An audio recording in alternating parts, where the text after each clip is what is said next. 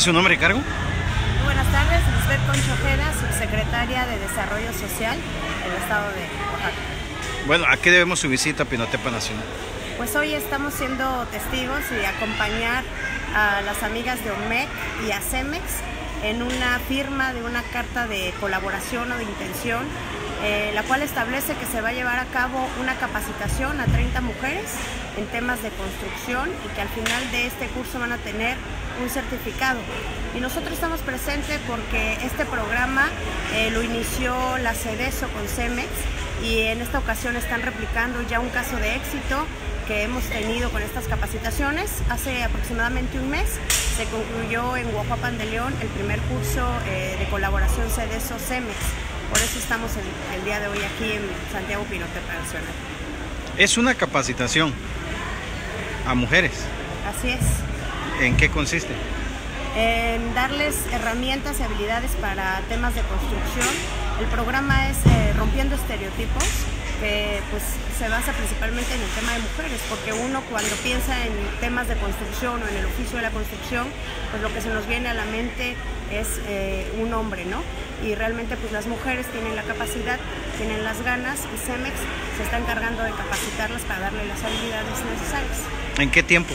¿Qué tiempo Son va? 50 horas y se van a administrar de acuerdo a los horarios que tengan las señoras. Eh, en esta ocasión en Pinotepa eh, van a ser los viernes y los sábados por las tardes.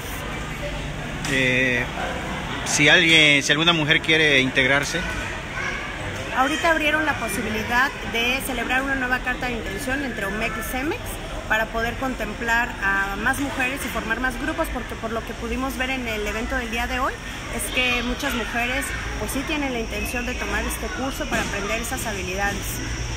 eh, eh, ¿tiene algún costo? No, el costo eh, lo está absorbiendo en esta ocasión CEMEX y OMEC. Es gratuito para las mujeres que se inscribieron, eh, de las 30 mujeres que se inscribieron aquí en Pinotepa. Ok, eh, ¿solo es para Pinotepa Nacional? Sí, aquí eh, la carta de eh, colaboración que se hizo es OMEC con CEMEX y es solamente en Pinotepa Nacional.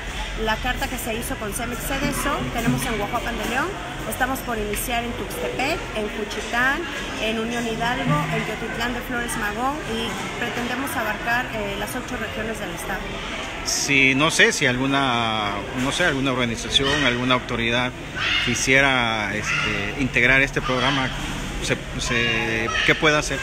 Se están haciendo las cartas de colaboración con CEMEX y se puede acercar a nosotros también para preguntarnos si dentro del programa eh, que ya tenemos calendarizado en los otros municipios tenemos espacio, pues integrar a las mujeres que estén interesadas. Eh, muy bien. ¿Algo más que quiera agregar? No, pues sería yo creo que todo. Venimos en representación de la maestra Yolanda Martínez, secretaria de, de Desarrollo Social y Humano, para platicar con estas mujeres de lo que está haciendo el gobierno del Estado en tema de desarrollo social, inclusión laboral, para los hombres, mujeres y adultos mayores también. ¿Su nombre de nuevo? Lisbeth Concha Jara.